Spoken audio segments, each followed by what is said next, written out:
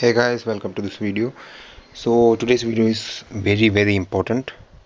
Important to whom?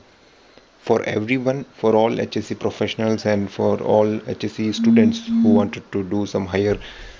uh, education uh, in Canada or in any other countries. So why we have chosen this topic is because we got many requests uh, to talk something about uh, the scope of uh, doing uh, education from Canada. So how government is supporting uh, the students. Mm-hmm. तो किस तरीके से government support करती है उसके बारे में आज हम लोग uh, इस वीडियो में देखेंगे कि कनाडा गवर्नमेंट का uh, किस तरीके से आपको सपोर्ट करेगी अगर आप uh, ग्रेजुएशन के लिए कनाडा जाते हो तो so the first thing is which is very important is the facilities which Canada is providing to all the students who are going there for the higher education specially under Mr. Justin uh, Trudeau, the uh, the Prime Minister of Canada, there are many uh, new schemes uh, are implemented to help the international students. Especially uh, during the COVID time, you have seen uh, the Canada was providing uh, around two thousand dollars per month to all the people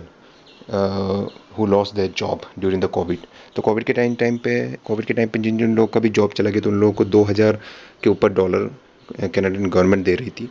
इसी तरीके से they were providing house allowances which was around 300 dollar to everyone so these all are the uh, f- uh, facilities which the canadian government was providing to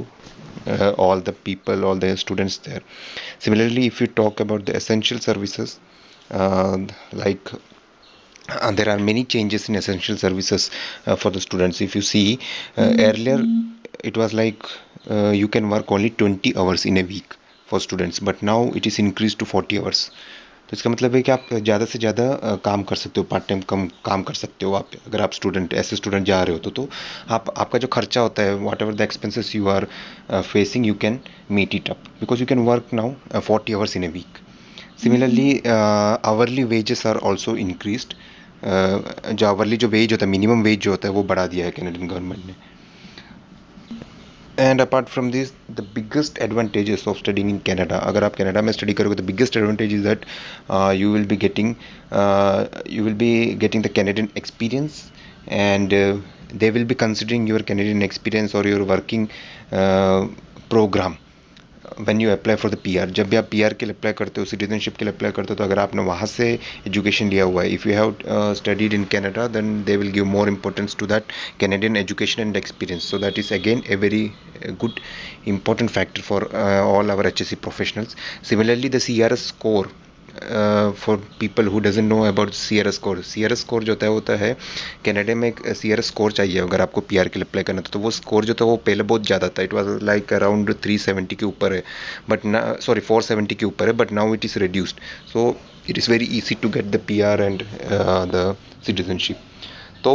don't waste your time you can start searching for the colleges और universities for the intakes and in our next video I will we will talk about the different universities and